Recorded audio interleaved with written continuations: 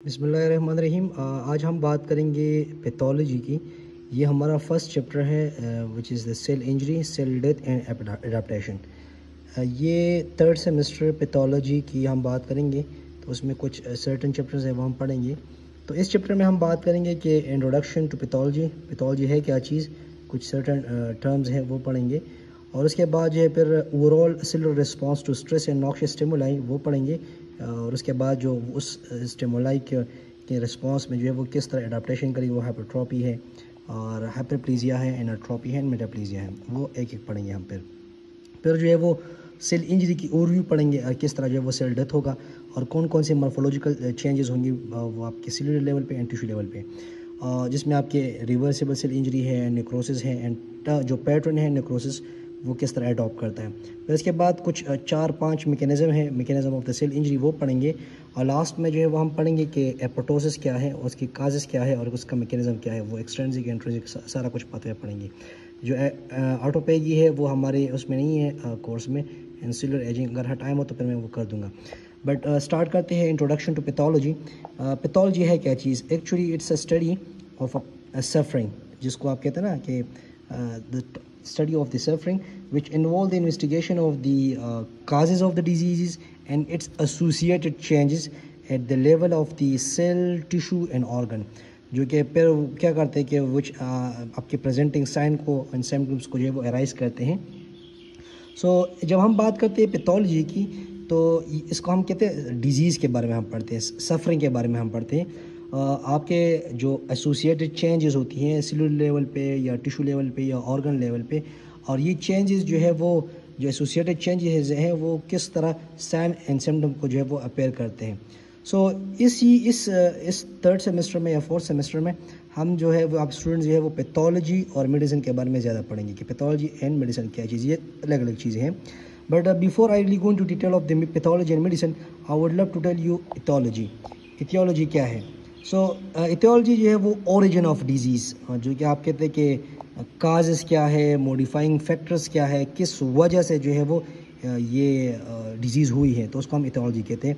For example जो most common disease जिसमें आपके हाइपरटेंशन है डायबिटीज़ मोलाइटिस है कैंसर है सो so, ये किस वजह से होती है? ये combination of inherited genetic susceptibility की वजह से होती है या सर्टन एनवायरनमेंट जो ट्रिगरिंग्स है उनकी वजह से होता है। सो so, अब जेनेटिक्स और इन्वायरमेंटल जो अंडरलाइंग डिज़ीज़ है, उसके बारे में जो हम बात करेंगे तो वो आप, वो क्या होगा? वो मॉडर्न मेडिसिन में हम पढ़ते हैं। सही है ना? और जो पैथोजेनेसिस है, वो हम, उसको हम कहते हैं कि the steps in the development of a disease कि किस तरह एक पैथोजन आ गया, उसने सेल को जो है वंजर किया, और किस तरह जो है उसकी डेथ होती मतलब स्टेप बाय स्टेप जो है वो हम पढ़ेंगे। So it describe how aetiological factors जो है वो ट्रिगर करते हैं cellular and molecular changes which arise uh, जो specifically arise to specific functional and structure abnormality और उसकी वजह से क्या होगा? फिर आपके डिज़ीज़ जो है वो अपेयर होगा। हम कहते हैं कि एथोलॉजी जो है वो कहते हैं कि वाई क्यों हुआ है? तो वो हम इथियोलॉजी में कहते हैं। इथियोलॉजी में हम क्या कहेंगे? वाई और जो पैथोजेनेसिस है उसमें हम कहेंगे हाउ किस तरह? सही है? So so, Defining the etiology and pathogenesis of diseases is not only essential for the understanding of the diseases but जो बेसिक रैशनल ट्रीटमेंट है, उसके लिए भी इंपॉर्टेंट क्योंकि आपको पैथो पैथोफिजियोलॉजी का पता होना चाहिए।